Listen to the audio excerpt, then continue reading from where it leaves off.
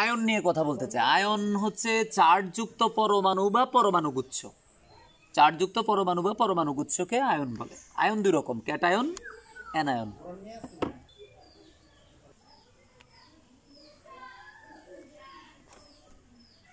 Ion দুই প্রকার, cation, anion. তো ক্যাটায়ন কি জিনিস? তো আসলে মানে ক্যাটায়ন শব্দটা যদি একটু খেয়াল করি, ক্যাটায়ন আমরা যদি কাঁটা থেকে আসে, কাঁটা।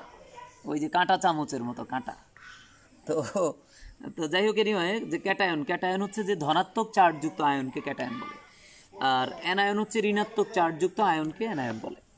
সোডিয়াম প্লাস একটা ক্যাটায়ন এনএইচ ফোর প্লাস একটা ক্যাটায়ন সিএল মাইনাস একটা অ্যানায়ন ওএইচ মাইনাস একটা অ্যানায়ন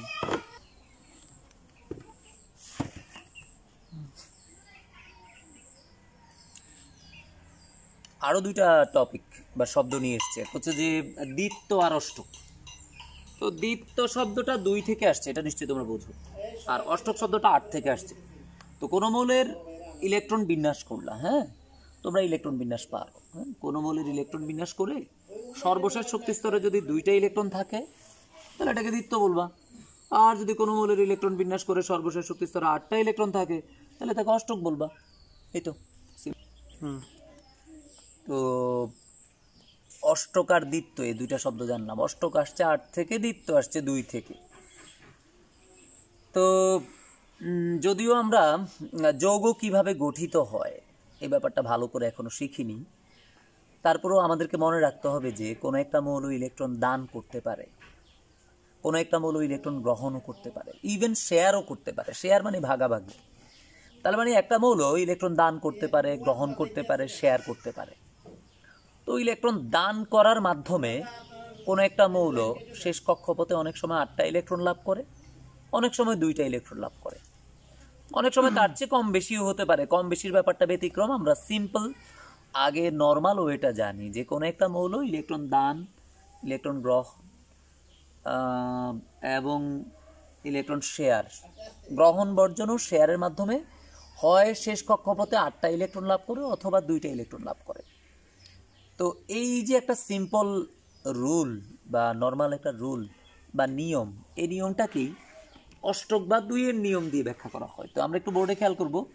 তো অণু যখন গঠিত হয় অণু গঠনকালে কোনো মৌল ইলেকট্রন গ্রহণ করে বা বর্জন করে বা শেয়ারের মাধ্যমে, তার শেষ কক্ষপথে, সর্বশেষ শক্তি স্তরে আটটা ইলেকট্রন যদি লাভ করে, এটাকে অষ্টক নিয়ম বলা হয়।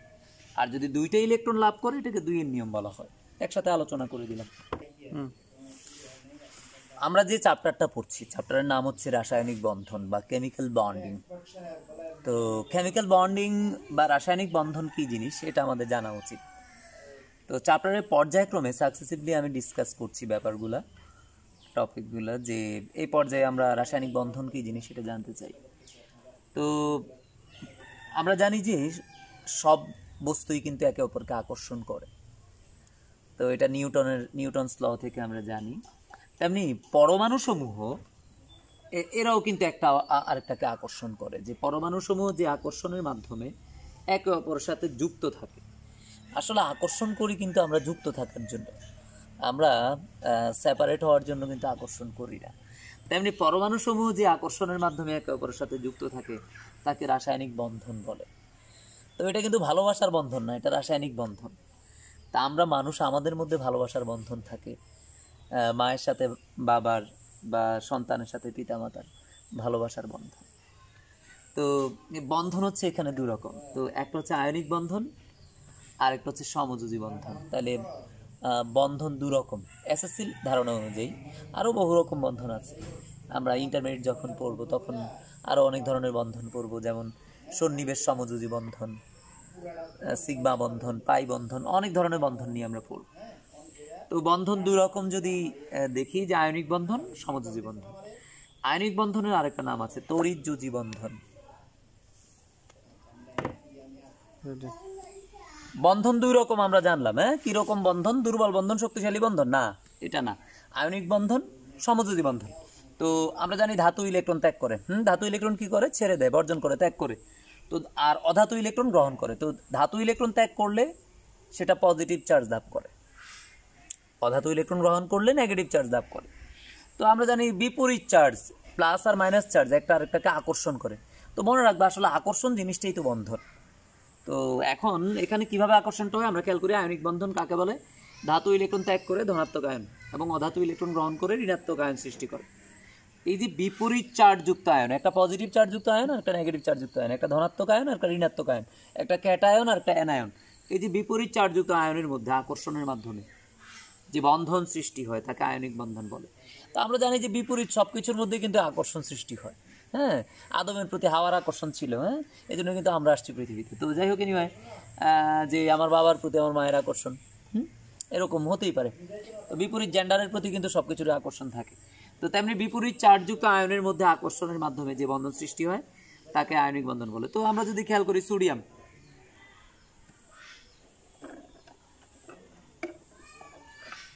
খেয়াল করি সোডিয়াম। সোডিয়াম এর শেষ কক্ষপথে একটা ইলেকট্রন আছে হ্যাঁ? একটা ইলেকট্রন ছেড়ে দিল। ছেড়ে দিয়ে সোডিয়াম পজিটিভ চার্জ লাভ করছে plus sodium plus ion cation লাভ করছে। অপরদিকে সোডিয়ামের ছেড়ে দেওয়া ইলেকট্রন ক্লোরিন যদি গ্রহণ করে তাহলে chlorine minus ion minus charge লাভ করে। আমরা জানি ইলেকট্রন ছেড়ে দিলে পজিটিভ চার্জ আর গ্রহণ করলে নেগেটিভ চার্জ লাভ করে। একটা ক্যাটায়ন আর একটা অ্যানায়ন সৃষ্টি হয়েছে। বিপরীত চার্জযুক্ত আয়ন সৃষ্টি হয়েছে। এই যে বিপরীত চার্জযুক্ত আয়ন একটা আরেকটাকে আকর্ষণ করে। আকর্ষণের মাধ্যমে কোনো কিছু দূরে যায় না, কাছে আসে। তো কাছে এসে একটা যৌগ তৈরি করে। সেই যৌগটার নাম হচ্ছে NaCl বা সোডিয়াম ক্লোরাইড। তাহলে সোডিয়াম ক্লোরাইড যৌগটার মধ্যে কোন ধরনের বন্ধন আছে? আয়নিক বন্ধন।